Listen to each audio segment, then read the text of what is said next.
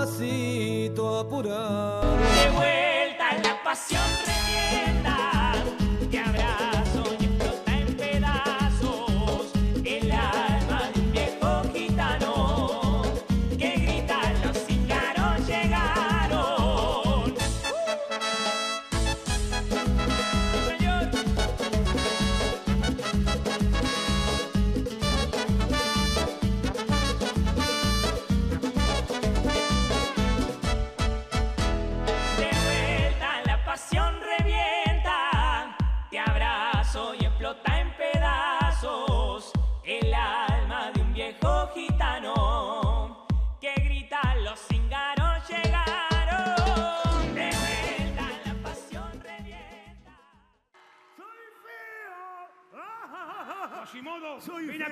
Escucha esto. Sí, mi señor. Estos malditos gitanos cerraron una fiesta en la plaza del pueblo y van a elegir al rey de los tontos.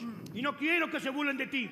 Eso sí, de lejos vigila a la gitana más peligrosa. Su nombre es Esmeralda. Esmeralda. ¿Hiciste las tareas que te pedí? Sí, mi señora, acá tengo la lista. Mire, ya le corté las palomas, le di de comer al pasto, hablé con la baldosa y me cepillé a la monja. ¿Quién escribió esto? Yo no soy ningún alcahuete. Hermano Ofelia, hermano Ofelia, venga acá, por favor. Esta noche me desacato, me fumo un porro, me como un gato. Esta noche me desacato, me fumo Mano un porro, feria. me como un gato. Es- ¿Qué señor, estás cantando? Esta noche me desacato, me fumo un porro, me como un gato. Es, es- es el tema central eh, de mi programa infantil, señor. ¿Cómo se va a llamar el programa? Eh, el programa se va a llamar La monjita que dio el mal paso, señor. Es una porquería eso. ¿Cómo va a decir eso, señor? Yo me inspiré en alguien muy conocido de, de- de- de nuestro eh, ámbito artístico. ¿En quién? En usted cuando salía en Caribe, señor. Yo no me comí nunca ningún gato. No, el gato eras vos. Ah. ¿Usted escribió esto? ¿Qué le pasa? A ver. Sí, es mi letra, ¿por ¿Le qué? parece bien? ¿Qué? ¿Los disléxicos no somos persianas también? Personas. ¿Personas? Personas. Personas, Cuídeme. Quasimodo. Sí, señor. ¿eh? Que no vaya a la plaza. Vaya, vaya tranquilo. Che, tiene razón este tipo, al fin y al cabo. Estos gitanos son unos delincuentes, hay que combatirlos. Como hicieron en Japón, que inventaron una máquina que, que en 15 minutos atrapó 1.500 delincuentes. Y después la mejoraron en Alemania y en 10 minutos atrapó 5.500 delincuentes. Y después la llevaron a Uruguay y en 5 minutos robaron la máquina. ¡Esmeralda! Quiero que seas mi mujer. Quiero que seas la madre de mis hijos. Quiero que estés conmigo para toda la vida, Esmeralda. Pará, He-Man, ¿qué te agarró el coronavirus? ¿Qué pasó? Che, lleno de patriarcado ese cuerpo, arrancá de acá, sáquenlo de acá. ¿Pero quién te cree que sos? ¡Esmeralda! Es mi amor imposible.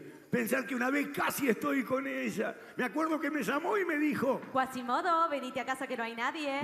Yo fui como un boludo y no había nadie.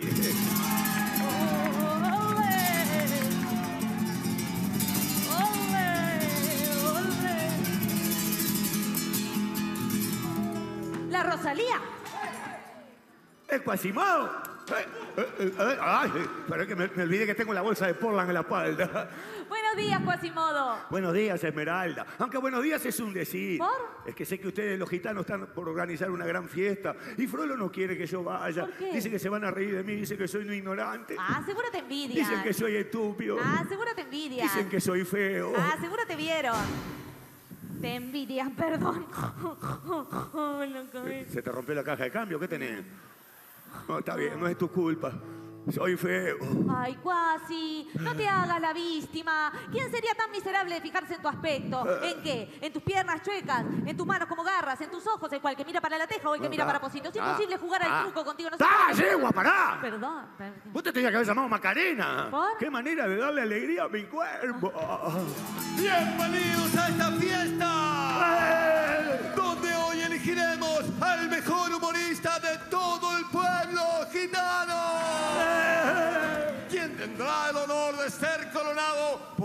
nuestra gitana más bella, la gran Esmeralda. ¡Esmeralda! ¿Quién quiere comenzar? Dale, Cuasi, contate vos uno. Dale, dale, dale. Yo no me animo. No, dale, dale, dale. Eh, bueno, está bien, voy a contar algunos porque estoy contento. El 14 de febrero fue el Día de los Enamorados. Ay, sí. Y me llegó un mensaje. Decía, pasan los años y no puedo borrar tu nombre de mi cuaderno. Era el almacenero, la puta que lo parió. Hace dos años me está corriendo por 200 leones y una flauta. Bueno, está bien. Le dijo el marido a la mujer vieja, Este fue el mejor polvo que echamos. Dice Alberto, estamos tirando la ceniza de mamá. Muy bien. El tipo está en la casa mirando canal, un canal cualquiera. Me salió bien. La mujer paseando el perro. El tipo saca el 5 de oro acumulado. Sale al balcón. ¡Vieja! ¡Corre, que saqué el 5 de oro! La mujer sale como pedo y la mata un ómnibus. Dice el tipo, no, cuando uno está de liga, está de liga. Una viejita al dentista. Suerte. Dijo la viejita, buen día, doctor. Dijo el dentista, buen día. Tome asiento, ya estoy con usted. El dentista se vuelta, se puso los guantes de goma. Gira el dentista a la viejita, abierta de pierna y sin ropa interior. Dice, abuela, me parece que se equivocó. Si me equivoqué la pelota, usted le puso los dientes a mi marido, usted lo va a sacar de acá, mi hijo. Venían tres botijas en una moto. Tres botijas en una moto. Tres en una moto. Ya lo dije tres veces, eran como nueve. Y el que venía en el medio empezó. y el que va manejando le pregunta, ¿de qué te reís, tarta? Se ja, ja, ja, ja, ja, ja, ja, ja Javier se cayó. No no hombre, horrible, me pareció muy violento. Que no, que no, ¿cómo no vamos a reír de los accidentes? No. Eh, que yo no sé hacer reír a nadie. Sí. Vamos a comenzar la misa. Versículo 26, capítulo 1 y 2, inciso 4. Nuestro Señor es Padre de nuestra creación, es el dueño de los paraísos y el Edén. Recién me entero, es el dueño de los muebles este muchacho. Yo no sabía nada. El Señor creó al hombre a su imagen y semejanza. Y semejanza. Semejanza, semejanza. Bueno, los hizo igual a él, creando a los famosos Adrián y Beba. Adán y Eva son, Adán y Eva. ¿Querés dar vos la misa? No, no, no, decía, Ya que no hay problema ninguno si No, querés. ¿eh? no. Primero creó a Adrián. Ese fue el primer indicio de machismo de la historia. Y para que Adrián tuviera una mujer, le sacó una costilla con lomo a Adrián y se la dio a Beba. Esa debe haber sido la primera discusión matrimonial de la historia. Una costilla con lomo sale como 500 mangos el kilo, boludo, como para no discutir. Entonces se apareció una serpiente. Una ser- Serpiente, serpiente. Bueno, bueno, una víbora como vos. Ah, pero.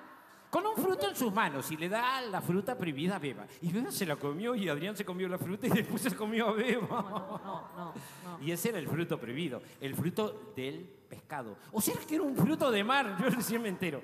Y por ese motivo, por tener resaliones sensuales, Relaciones sexuales, eh, relaciones. por cepillar en el paraíso, Adrián y a Beba los echaron del Edén. Se habrían ido al Copacabana, que queda cerca de ahí. Hay una habitación que sale 450 pesos la hora, que está muy buena. Viene con parrillero. ¿Cómo sabe eso? Eh, No, es que yo fui con el hermano José, ¿Qué, qué José? el que hizo el asado y se fue. Ah, ah, No, es una bobada mía.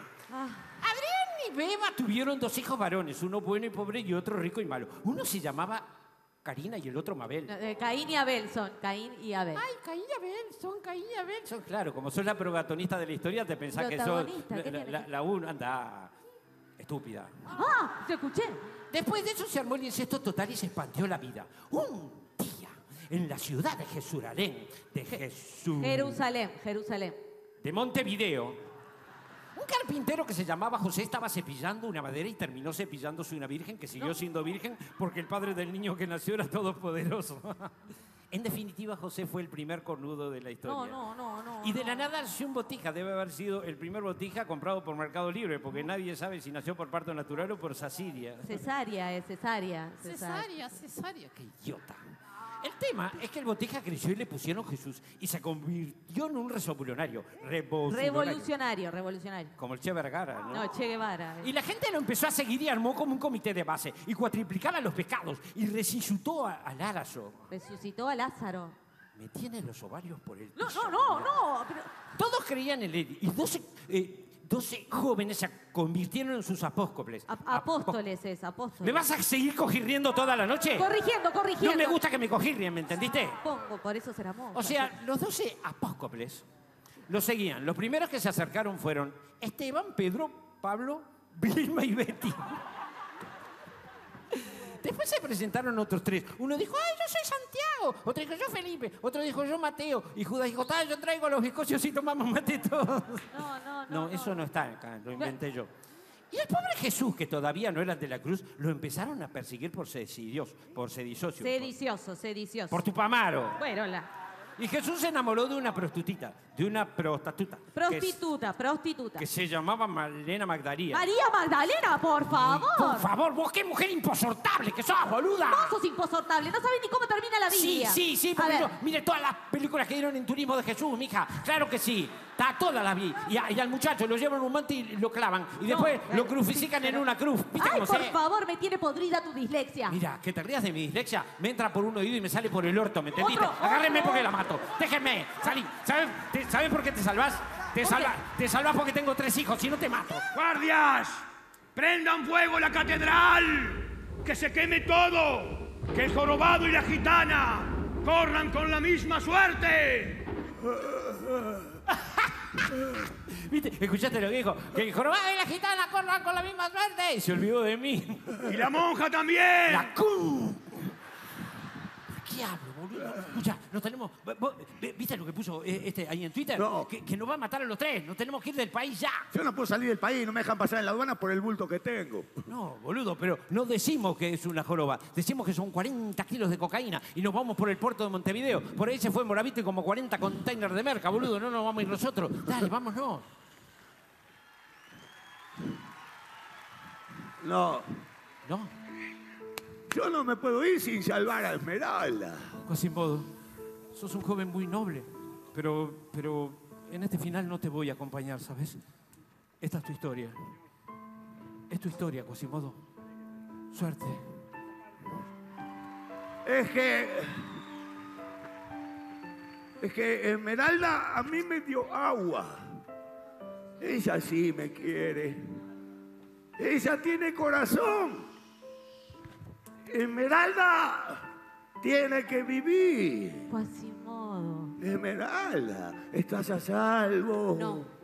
Ninguna de nosotras aún lo estamos. Este, como tantos, es un cuento mal contado. Una historia desargumentada, como tal vez lo es la Biblia. Nuestra Señora de París no es más que una de las obras literarias de Víctor Hugo. Esta catedral tomó fuego mucho antes de la fecha asignada por su destino. Empezó a encender sus primeras llamas en la historia. Con inquisiciones, prejuicios, guerras en nombre del Señor, abusos. Y no solo de poder. Combatir ese incendio depende de todos. Esta catedral representa una mujer que fue relegada de sus derechos.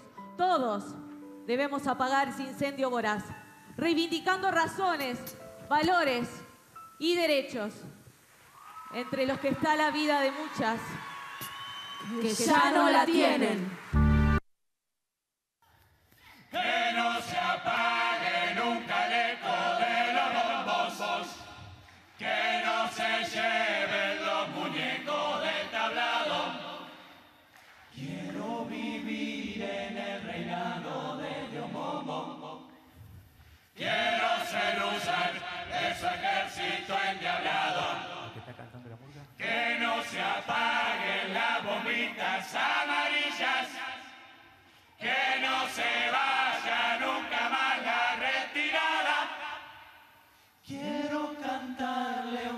A Colombina, una canción. Quiero llevarme su sonrisa dibujada.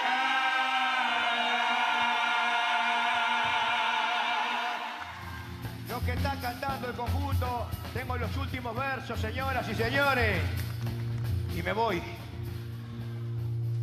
Me voy con mis versos a otro barrio,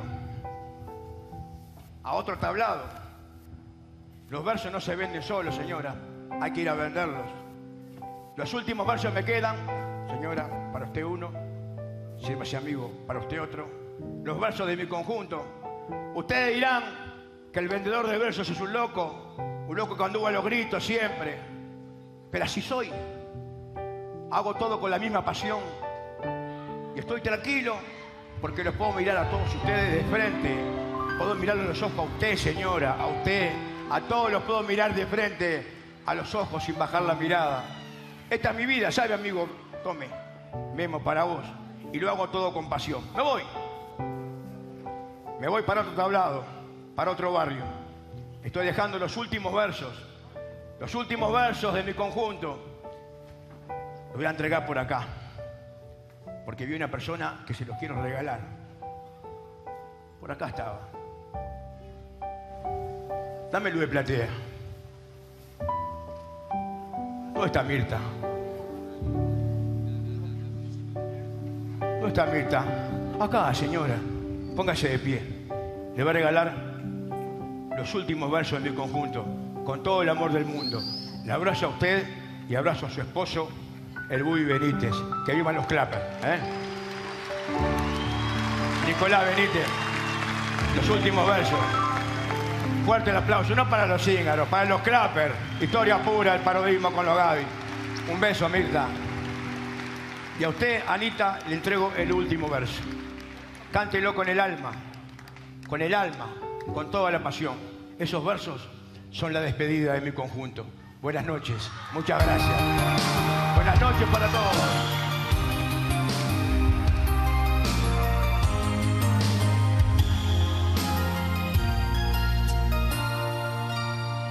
Se va apagando el traje, se muere la canción,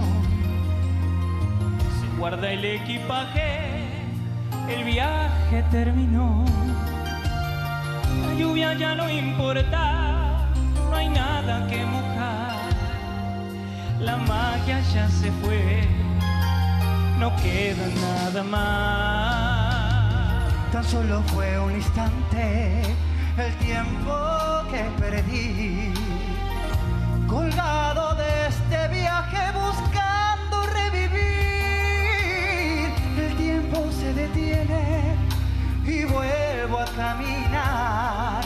Regresa otra vez la y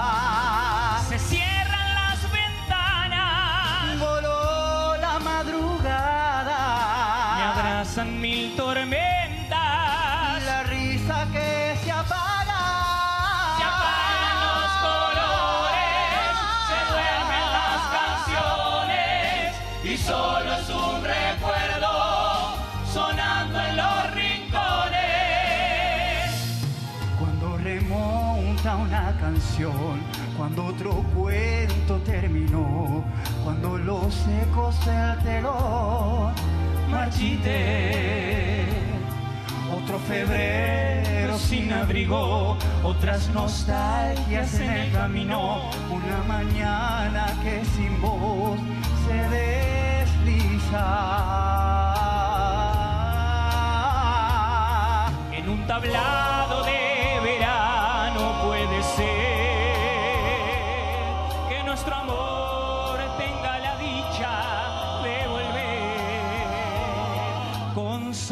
del pasado, con flores y pecados, un beso de regalo y tus manos